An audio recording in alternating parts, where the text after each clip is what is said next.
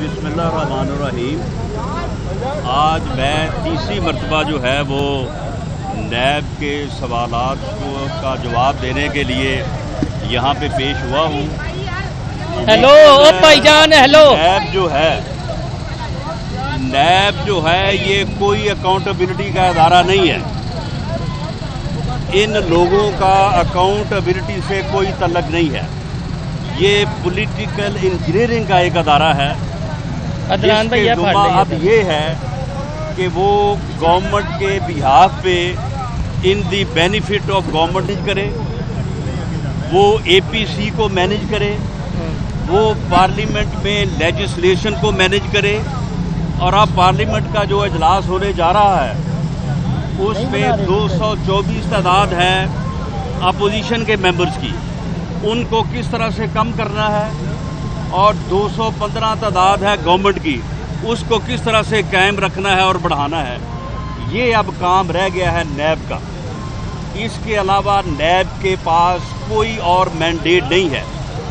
नैब के चेयरमैन से लेके असिस्टेंट डायरेक्टर तक जो मेरे सामने आज बैठे थे ये सब लोग जो है ये मजबूर हैं। ये अपने ज़मीर के कैदी हैं।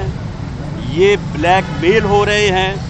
और ये गवर्नमेंट के हाथों ब्लैकमेल हो रहे हैं। इन्हें हर चीज़ जो है, हर इंस्ट्रक्शन जो है, ये ऊपर से आती है कि आपने किस तरह से जो है, वो किसको नोटिस करना है, किसको बुलाना है किस से क्या सवाल करना है और किसके केस को किस तरह से जो है, वो आगे जो है, वो प्रोसीड करना है। मैं आज दावे से ये कहता हूँ कि मेरे खिलाफ पिछले दो साल से सिर्फ़ नैब नहीं गवर्नमेंट की तमाम एजेंसी जो हैं, उन्होंने जो है वो एड़ी चोटी का ज़ोर लगाया है। आज तक वो कोई एक रुपए का अकाउंट जो मैंने अकाउंट डिक्लेयर किए हैं, उनके अलावा नहीं ला के रख सके कि जी, ये आपका जो है वो अकाउंट है। कोई एक रुपए की प्रॉपर्टी कि जो मैंने पिछले पाँच साल, दस साल, पंद्रह साल, बीस साल से डिक्लेयर ना की हो और वो ये मेरे सामने रखे कि जनाब ये आपकी जो है वो प्रॉपर्टी है। लेकिन इसके बावजूद इसके बावजूद जो है, वो जुल्फी बुखारी की जो इंक्वायरी है, वो तो फ़ाइल हो सकती है। और सुनामी ट्रीज के खिलाफ छः इंक्वायरियाँ शुरू होने के बावजूद जो है, वो किसी को ना बुलाया जा सकता है, ना किसी को गिरफ़्तार किया जा सकता है। लेकिन अपोजिशन को मैनेज करने के लिए जो है, और मीडिया को मैनेज करने के लिए जो है कंप्लेंट वेरिफिकेशन के लेवल पे जो है, वो मीर शकील रहमान को गिरफ़्तार किया जा सकता है या अपोजिशन के लोगों को जो है थ्रेट करने के लिए और दूसरों को वार्न करने के लिए जो है, ये बुलाया जा सकता है। नैब के अदारे को गवर्नमेंट जो है, वो अपने सियासी मकासद के लिए अपोजिशन के ख़िलाफ़ इंतकामी कार्रवाई के लिए अपोजिशन के ख़िलाफ़ विक्टिमाइजेशन के लिए जो है वो बहुत बुरे तरीके से जो है वो इस्तेमाल कर रही है और इस बात को ये लोग भी समझते हैं। ये लोग, मैं समझता हूँ कि अपनी सर्विस के, अपनी नौकरी के ग़ुलाम हैं और वो अपने ज़मीर के ख़िलाफ़ जाके जो है ये सारा जो है वो मामला मामला जो है वो कर रहे हैं। इस सागाला में बैठे हैं या प्राइम मिनिस्टर हाउस में बैठे हैं। लेकिन मैं ये बात वाजे कर दूँ कि अपोजिशन इन ताला बीस तारीख को अपना मुतफ़ा लाह अमल जो है वो बनाएगी। उसे अनाउंस करेगी और इस मुल्क की बेहतरी के लिए और आवाम को रिलीफ दिलाने के लिए जो है अपनी जद्दोजहद का आगाज़ करेगी। ये मनफी हथकंडे और ये इंतकामी हथकंडे जो है ये अपोजिशन का हमारा रास्ता नहीं रोक लेकिन साहब ये बताइएगा वज़ीर अला उस्मान बुजदार के खिलाफ पहले भी एक केस चल रहा था शराब के लाइसेंस के अजरा का। अब कल से एक और खबर सामने आ रही कि आर्मी शहदा की अराजी जो उन्होंने ब्यूरोक्रेट्स को गैर कानूनी तौर पर अलॉट की उस पर नैब का एक्शन होता दिखाई नहीं दे रहा, क्या वजह? ये एक्शन जो है, मैं कहता हूँ कि नैब जो है, नैब इट जो है, वो अपने नाक पे बैठी मक्खी नहीं उड़ा सकता। जो कुछ हो रहा है, ऊपर से हो रहा है। जो कुछ हो रहा है गवर्नमेंट कर रही है। और ये जो इस किस्म की ये जो है ना कि जी, वो सुनामी ट्रीज के खिलाफ इंक्वायरीज का आगाज़ कर दिया वो जी उस्मान बुजार को बुला लिया वो जी, फलां को बुला लिया ये सिर्फ़ बैलेंस करने के जो है वो हथकंडे हैं। एक्शन जो है वो अपोजिशन के खिलाफ ही होना है क्योंकि नैब को गवर्नमेंट चला रही है। नैब कोई इंडिपेंडेंट अदारे के तौर पे जो है या एक एहतसाब के अदारे के तौर पर नहीं चल रहा। अच्छा नैब ने जो आपसे सवाल पूछे थे जिस मकसद के लिए बुलाया था आज उसकी इन्वेस्टिगेशन की ही नहीं आपके मतलब नहीं बात यह है कि कोई बात हो तो मैंने तो कहा है कि अगर कोई प्रॉपर्टी मैंने डिक्लेयर नहीं की कोई अकाउंट मैंने डिक्लेयर नहीं किया तो वो रखे मेरे सामने। बताएँ कि वो कौन सा है? अब ये कहना कि जी फलां चीज़ जो है फलां चीज़ इतने की ली है रजिस्ट वो भाई रजिस्ट्री अगर मैंने कोई मकान ख़रीदा है और उसकी रजिस्ट्री मैंने एक अमाउंट में करवाई है वो रजिस्ट्री मैंने घर बैठ के करवा ली है। वो जो गवर्नमेंट का एक तरीकाकार है उसके मुताबिक हुई है। तो ये इन चीज़ों को जो है मामला ये है कि जब नोटिस देना जो है वो उनकी मजबूरी है तो फिर नोटिस के साथ कोई ना कोई इधर उधर के सवाल इकट्ठे करना जो है वो भी उनकी मजबूरी है।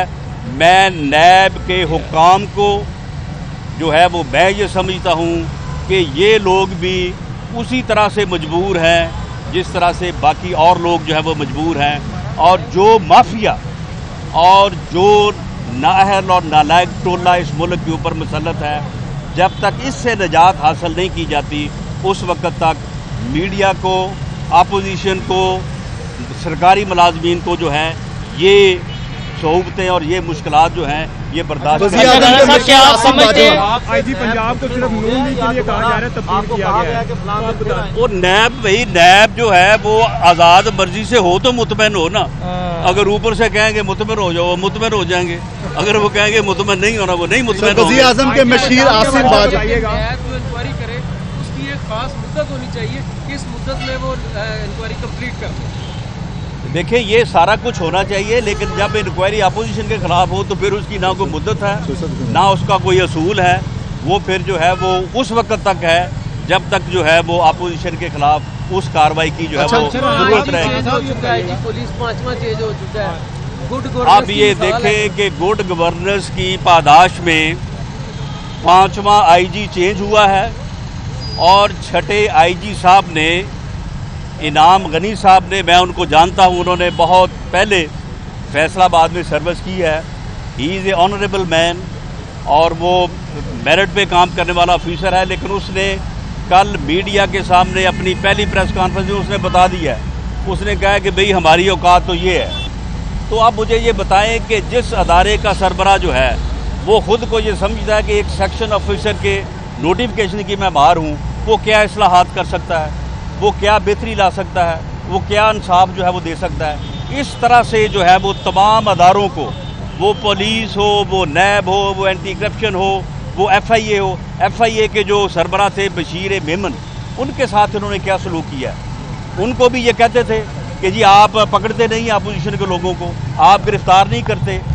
बशीर मेमन ने खुद एक हमारे आदमी को बताया उसने कहा कि मैं जब भी जाता हूँ तो वज़ी अजम साहब राना सनाउल्ला साहब को बड़ा याद करते हैं। कहते हैं उनके खिलाफ कुछ ना कुछ निकालो तो जब ये हाल हो तो फिर उसके बाद अदारों की फिर क्या अहमियत रह अच्छा, जाती है? अच्छा, आज़म के मशीर आसिम बाजवा के वीडियो आप कह रहे कि आपने नई वीडियो जमा करवाई है अरशद मलिक साहब की। हाँ। एक नई वीडियो अदालत में जमा करवाई है। उससे पार्टी को आपकी क्या फ़ायदा होगा और वीडियो में ऐसा क्या खास है जो केस के लिए कोई टर्निंग पॉइंट भी साबित उसमें अरशद मलक साहब खुद बयान फरमा रहे हैं और कुछ आला मनसब पे फायज लोगों के नाम ले रहे हैं कि मुझे उन्होंने मजबूर किया और मुझे कहा कि मियाँ साहब, मैं आपको दोनों रेफरेंस में चौदह चौदह साल सजा करूँ।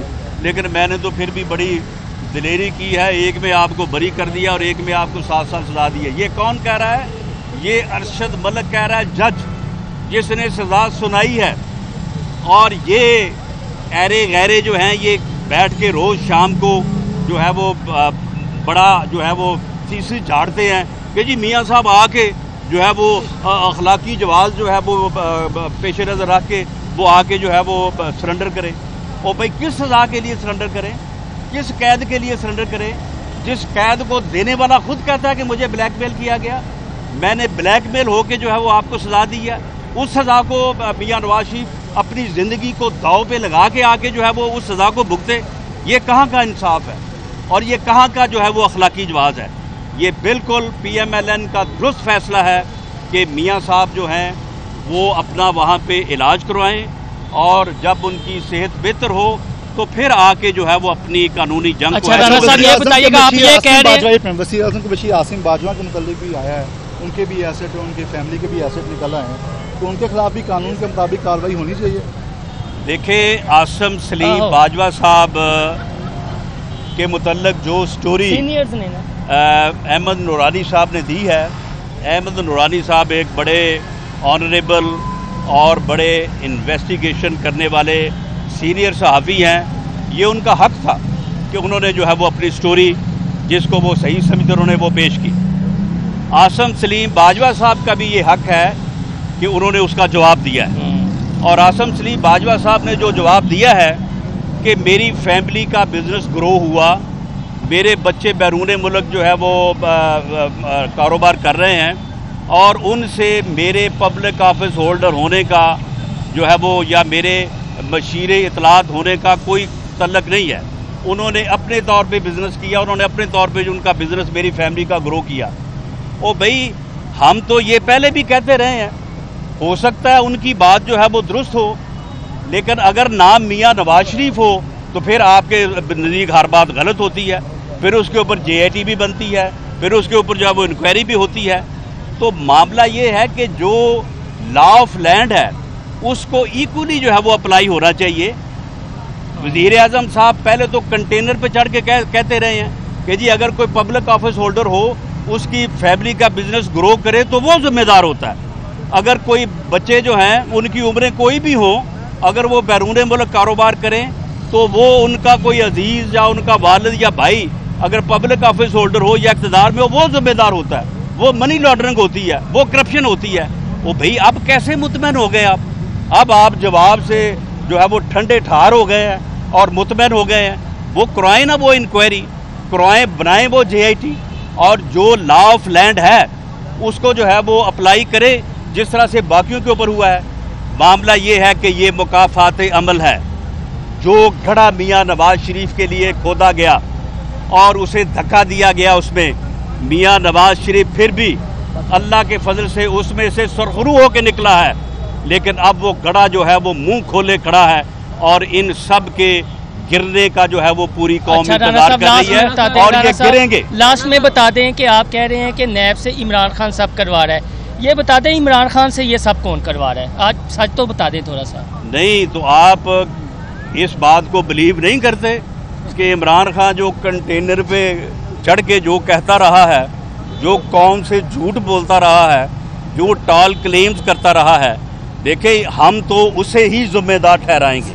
ठीक। उसे ही जिम्मेदार ठहराएँगे अगर उसने कोई इकबाली बयान देना है अगर उसने वादा माफ़ गुआ बनना है तो बन जाए। हमें उसके ऊपर कोई एतराज़ नहीं है। साहब ये फरमाइएगा आपका रावलपिंडी का एक फाजल दोस्त वो कहते हैं नून और शीन अलग अलग होने वाली है। क्या राज है इसका? शेख रशीद साहब। देखिए मैं ये आपको बता दूँ मुझे पता है रावलपिंडी का जो मेरा दोस्त है वो शैतान का भी दोस्त है।